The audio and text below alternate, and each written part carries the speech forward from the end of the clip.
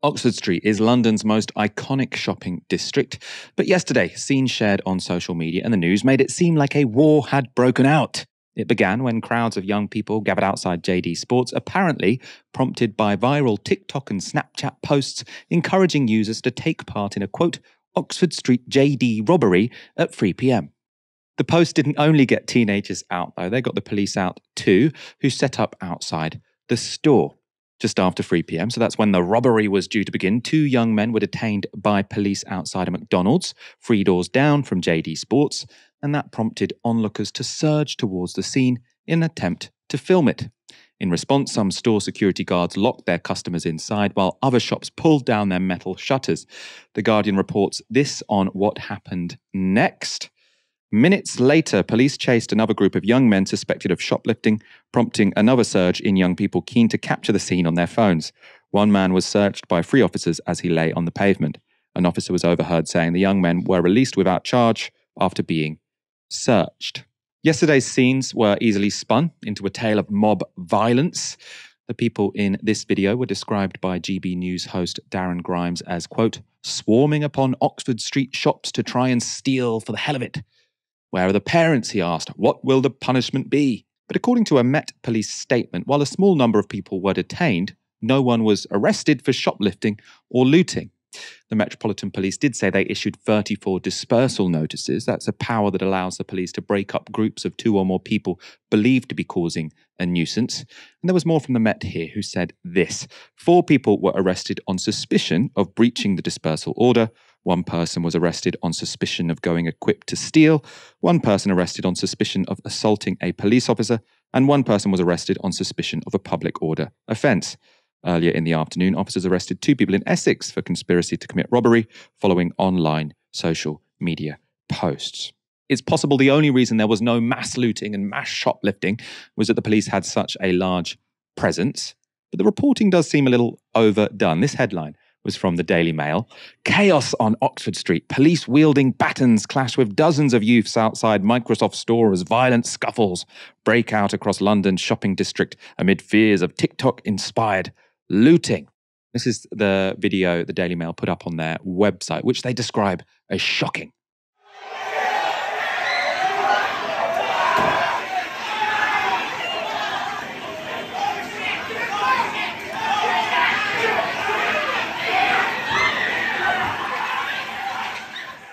It was rather unclear what was going on there, but you'll notice that in in that clip and many of the clips we've we've seen um, from the event.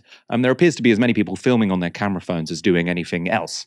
Um, and interviews with two teenagers in The Guardian reflect that. So they have a quote from Harry, who is 14 I'm not here to steal anything. I've been raised better than that. I just want to record it.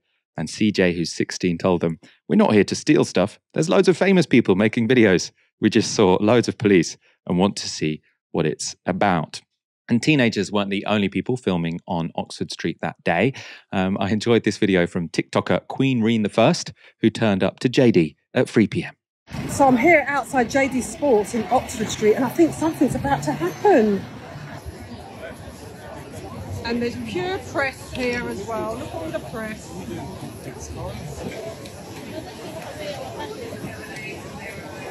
So lots of police presence at JD in Oxford Street today.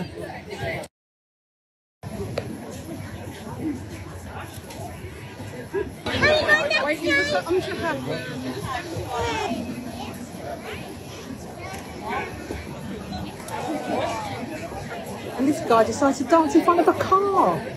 So, storm in a teacup or riot forestalled. The evidence to me seems unclear, but our Home Secretary has made her mind up. Um, she's tweeted this We cannot allow the kind of lawlessness seen in some American cities to come to the streets of the UK. The police have my full backing to do whatever necessary to ensure public order. Those responsible must be hunted down and locked up. I expect nothing less from the Met Police and have requested a full incident report. Hunt them down and lock them up. For what exactly? Um, it seems unclear to me. Maybe Suella has some evidence unrevealed to plebs like us, or maybe she's just jumping on a chance to fuel another moral panic. Dan, which of those do you think this is? Do you think there is evidence that people were sort of really ready to loot all of these shops and thank God for the police who turned up and stopped it? Or you know, does it seem like maybe as many people were turning up there to to film other people doing stuff, and it sort of ended up being this sort of self fulfilling prophecy that there would be some sort of chaos? It looked a bit like a weird flash mob. It, it looked a bit, you know, quite benign. Um, but yeah, so I, I totally agree. It's obviously a culture war issue. You know, as the Tories struggle more and more, they're just going to rely on these culture war uh, tropes. And obviously, the fear of crime is a long-standing one. I mean, maybe they're running out of folk devils. You know, they've already got migrants, they've got trans people. Maybe they want to uh, fall back on a tried and tested one, which is obviously uh, the highly racialized and racist idea of unruly black youth, which, as Stuart Hall says in Policing the Crisis, becomes this sort of signifier for this general fear of crime. So, I mean, very worrying stuff if, if this is the direction that Braverman and so on are going to go with.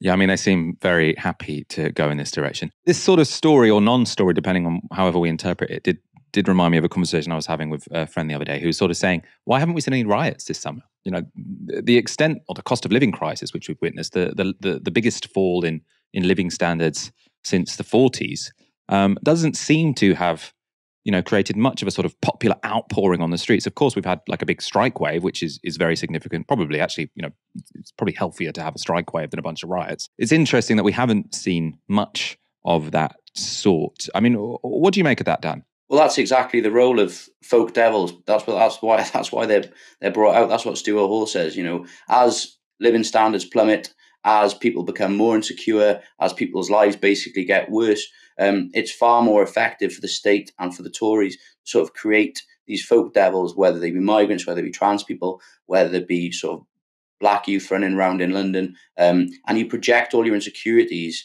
um, and worries onto this figure, and, and everything sort of gets bound up in, in the folk devil rather than sort of focusing on uh, the real culprits for what's happening in society, which is obviously the government.